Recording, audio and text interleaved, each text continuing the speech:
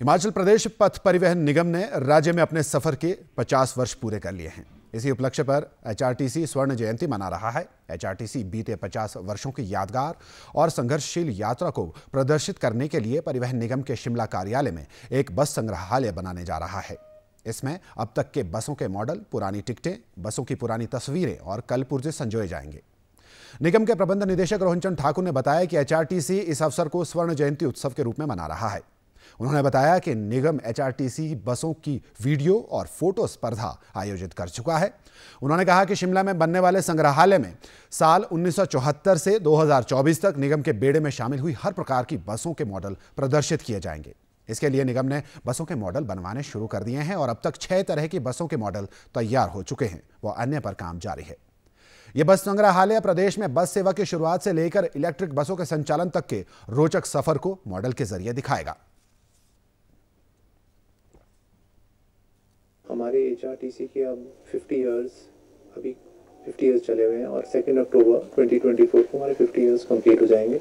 नए marketing campaign के साथ साथ एक छोटा सा मिनी म्यूज़ियम साथ साथ में कॉफ़ी टेबल बुक डॉक्यूमेंट्री सारी चीज़ें हो रही हैं। हम अपना पास दिखाना चाहते हैं प्रेजेंट दिखाना चाहते हैं और फ्यूचर दिखाना चाहते हैं। तो लगभग छः या सात जनरेशन बसेस की आ गई हैं। 1960s में एक डॉज का मॉडल चलता था, आज के दिन इलेक्ट्रिक पास बस की बात कर रहे हैं। इन दोनों के बीच में छः या सात चेंजेस आए हैं बीच में। हम सबको दर्शाना चाहते हैं। रंजन ठाकुर ने बताया कि एचआरटीसी 30 मई तक अपने सभी 31 इकाइयों को प्रदेश में कैशलेस करने जा रहा है। पहले चरण में शिमला की लोकल बसों और वॉल्वो को कैशलेस कर दिया गया है। दूसरे चरण में नाहन, सोलन, पालमपुर, सुंदरनगर, हमीरपुर, मंडी, बिलासपुर, धर्मशाला, सरकाघाट, ऊना, बैजनाथ, धर्मपुर यूनिट को 30 अप्रैल तक कैशलेस बनाने का लक्ष्य रखा गया है, जबकि अन्य यूनिट्स को 31 मई तक कैशलेस कर दिया जाएगा।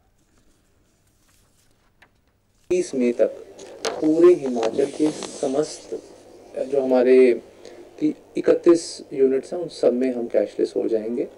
और हमने इसका एक रोल आउट प्लान बनाया है। अभी मैं आपको बताना चाहूँगा कि शिमला लोकल के साथ साथ हमारी वॉल्वो बसेज में भी अधिकतम हमने रोल आउट कर दिया है। हम इसके साथ साथ नाहन, सोलन, पालमपुर, सुंदरनगर, हमीरपुर, धर्मशाला, मंडी, बिलासपुर, नगरोटा, सरकाघाट, बैजनाथ ऊना और धर्मपुर में हमारा टारगेट है तीस अप्रैल का। हिमाचल प्रदेश पथ परिवहन निगम की बसों में यात्रियों को इस महीने से टिकट के कैशलेस भुगतान की सुविधा मिलेगी।